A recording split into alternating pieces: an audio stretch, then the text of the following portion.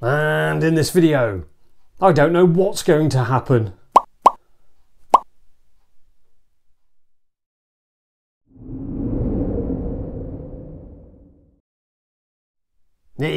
because what I'm talking about, mm, I've got this thing out, the Wheel of Booze, where there's plenty of ideas for making some drinks on this thing.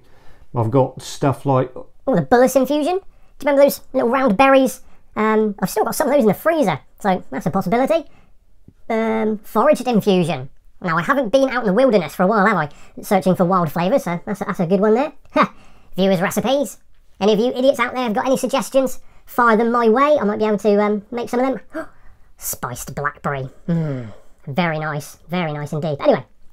Let's spin this wheel and we'll see what I'm going to be making today.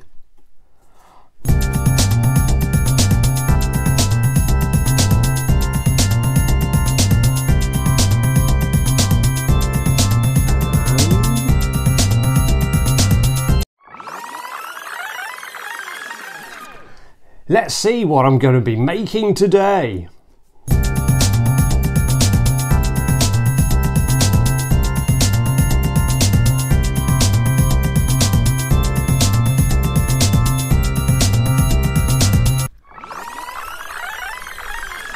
Let's see what I'm going to be making today.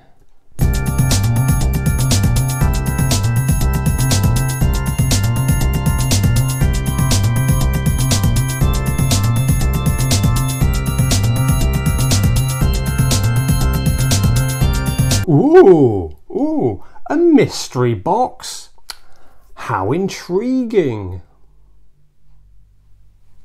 And here it is.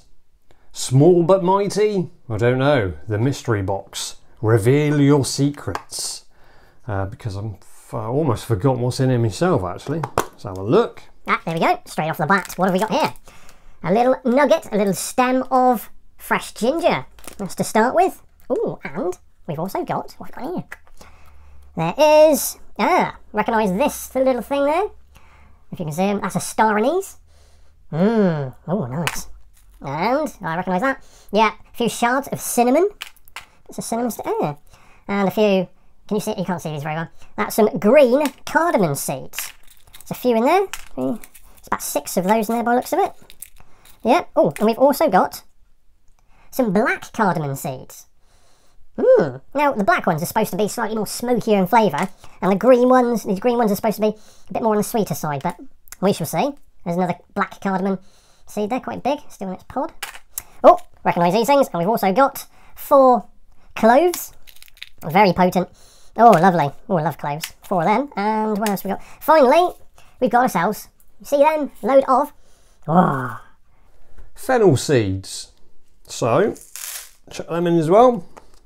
I'll tell you what we'll do now. Let's make a drink out of this little lot, shall we?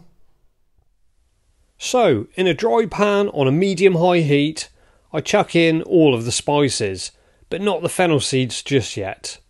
And I toast these for a couple of minutes. Now I add in the fennel seeds and continue to toast these for a few more minutes. So there we go. And just a word of caution don't be tempted to turn this up to a high heat or leave it on the heat for too long because you'll end up burning them and then they'll turn all bitter and there's no going back once you've done that. So take them off of the heat as soon as they start turning a nice light brown colour.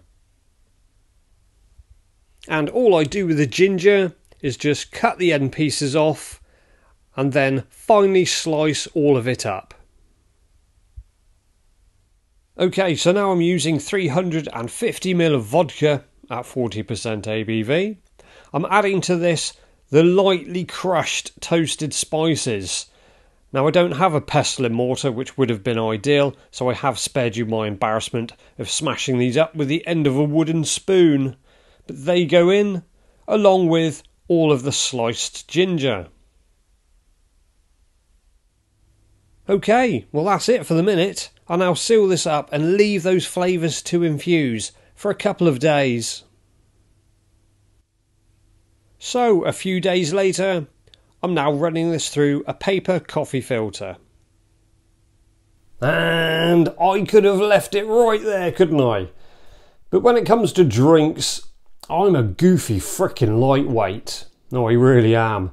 And I like my liqueurs, my flavoured vodkas, to be around 20 to 30% ABV. I also like them smooth and also reasonably sweet. So I brought 150 ml of water to a boil. I added in 20 grams of sugar, then added a pinch of citric acid to make a simple inverted sugar syrup.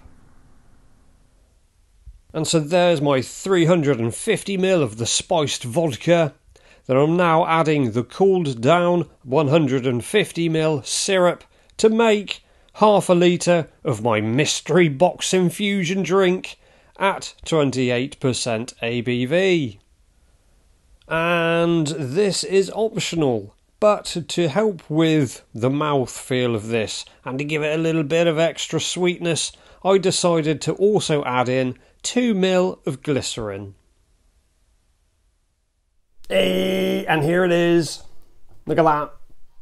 Look at that fantastic colour. And the smell is absolutely mind blowing. This really is incredibly nice. That fiery, peppery from the gingers coming through. I thought I slightly overdid it with the star anise, but no, I think this has come good. It's had a few, you know, a good few days to settle down and marry these flavours together. So I'm excited.